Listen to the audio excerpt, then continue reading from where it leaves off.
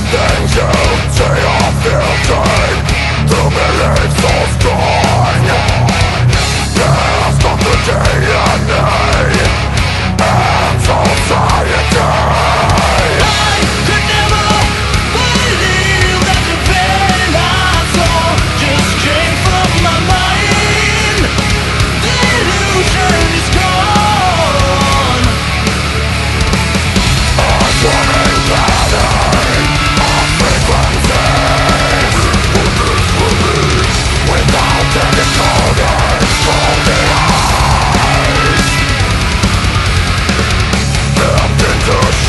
Santo.